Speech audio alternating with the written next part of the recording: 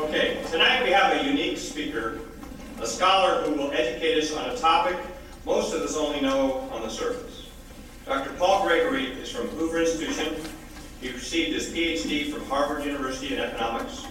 Dr. Gregory is the author and co-author of 12 books and many articles on economic history, the Soviet economy, transition economics, comparative economics, and economic de- demography, including recently released Politics, Murder, and Love in Stalin's Kremlin, Kremlin the story of Nikolai Bukharin and Anna Larina.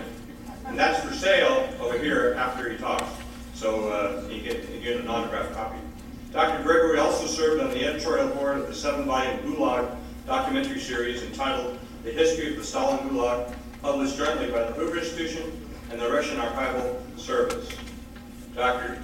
Gregory holds an endowed professorship in the Department of Economics at the University of Houston in Texas and is a research professor at the German Institute for Economic Research in Berlin. Paul Gregory blogs at paulgregorysblog.blogspot.com. So he'd like you to come and visit and see some of the stuff he puts out. He also has a weekly column entitled, uh-oh, Wrote- This is later notes, I wrote too small. I still can't read it. Econ World at Forbes.com, so he, he writes for Forbes. And uh, his topic is Stalin and the Dictator's Playbook, Interpreting Modern Russia, China, and the Arab Spring. So let's give a warm Silicon Valley welcome to Dr. Paul Gregory.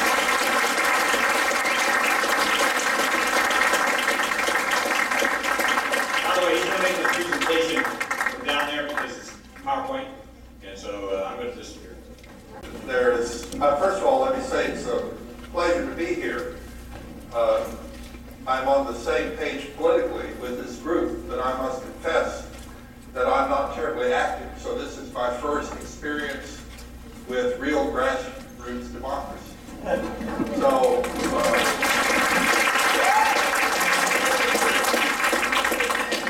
I think I'll get more out of this than you might. Um, also, I think there might be some worry about inviting someone to talk to you about history and to talk to you in particular about Stalin. I will do my best to relate uh, what I've learned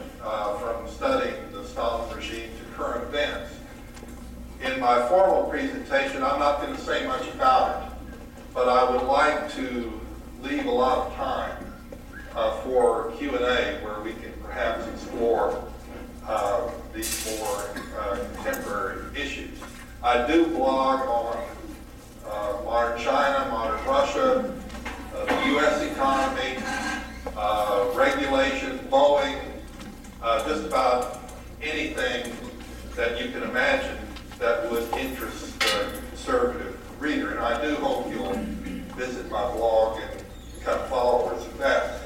Uh, I'm going to talk about this book, which fortunately you can buy over there at a- at a very good price. There's a big discount on it by here.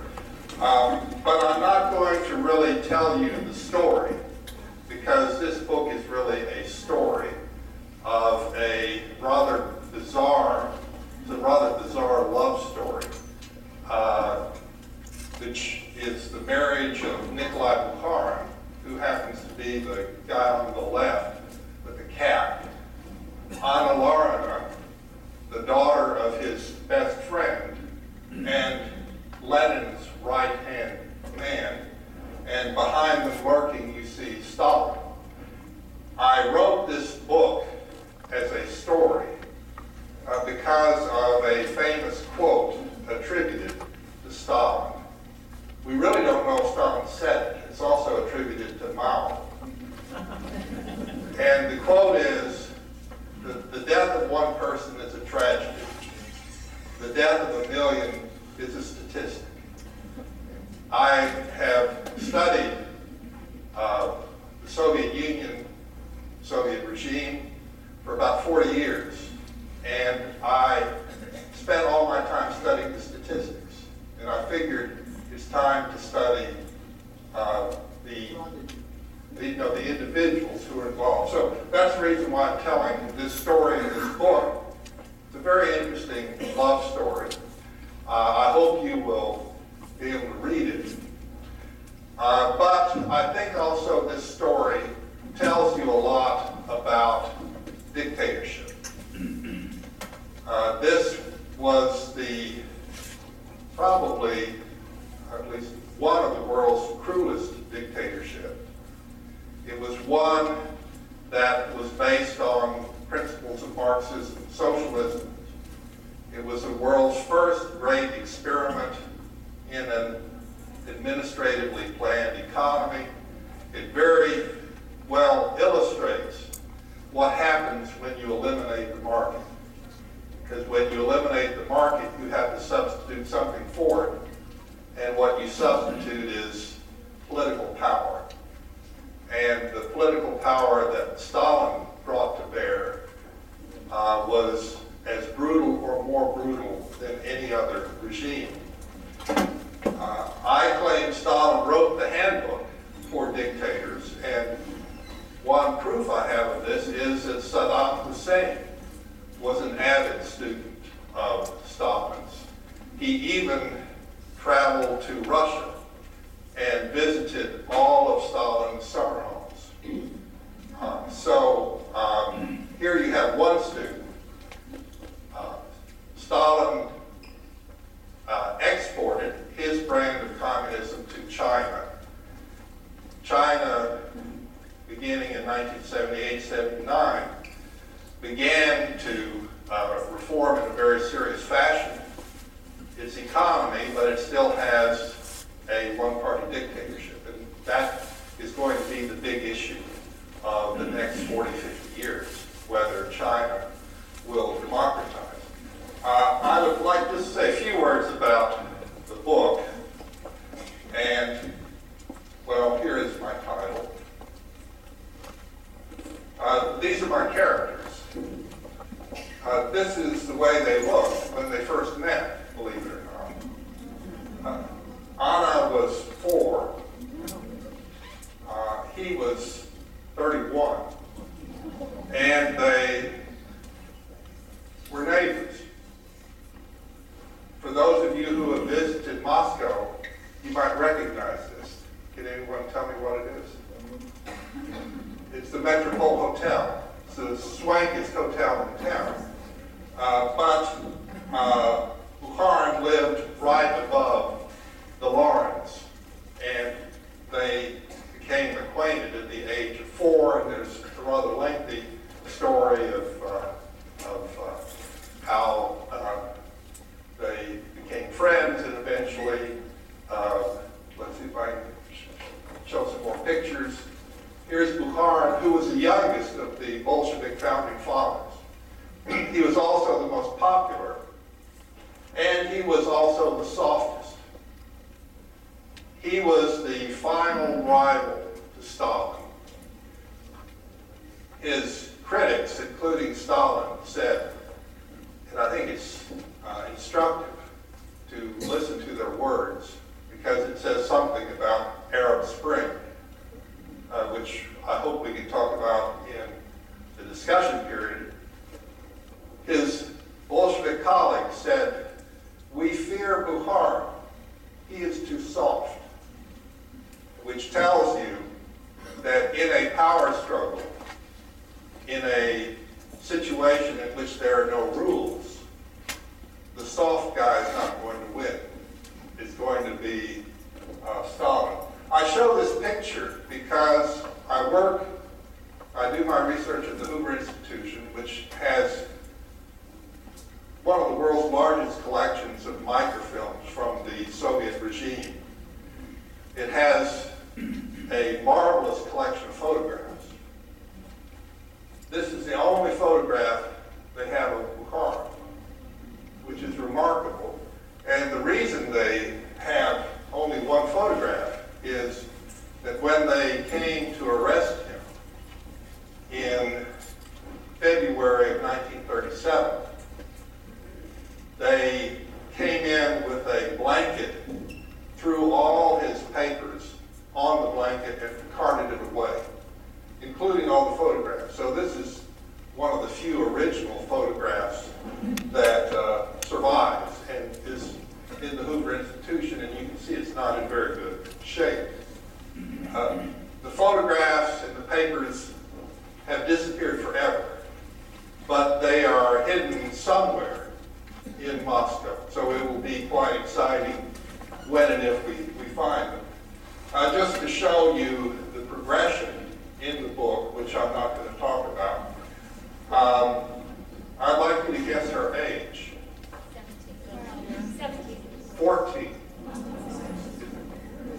Uh, so he is 26 years older. So if you add the two, 26 plus 14 is, uh, what is it, 40.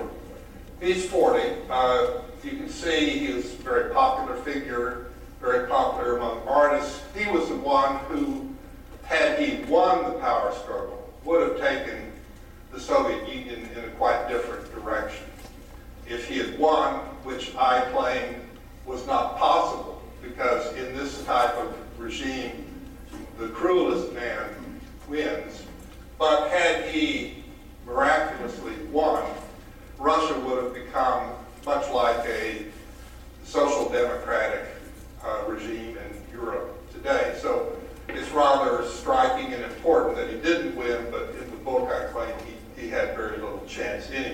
But you can see Anna's become a beauty. Uh, Bukharin married twice. May have married three times because in those days they really didn't bother to register uh, marriages. Uh, the third woman was actually a spy put in his bed by Stalin, who kept pretty good track of him. He finally figured out that she was a spy and dumped her. And that's when he and Anna, she's now 18, uh, became serious about each other. Notably, they, their real love story began uh, after he had lost the power struggle. So by 1929, he had lost, and I think these photographs are from 1929.